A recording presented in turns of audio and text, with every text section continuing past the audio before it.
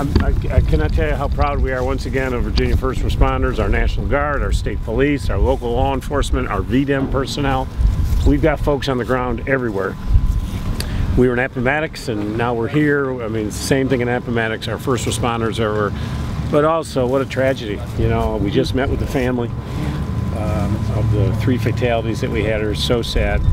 Literally lost everything they had. Clothes on their back, whatever cash they had was blown away. School books gone. Nothing. Literally, you imagine having nothing.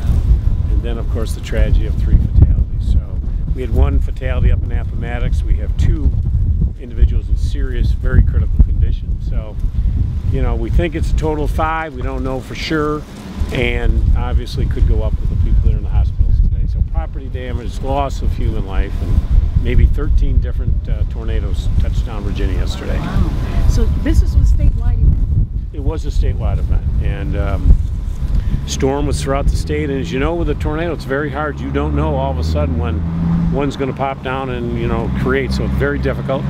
You get the warnings out there, but you just don't know where it will strike. And uh, you look what happened here. That trailer just literally picked up, thrown across the street, human lives lost. That literally, a half hour before, were in playing in their trailer. In fact, uh, we talked to the next door neighbor. He had just just seen uh, the gentleman carrying the two-year-old son on around the yard.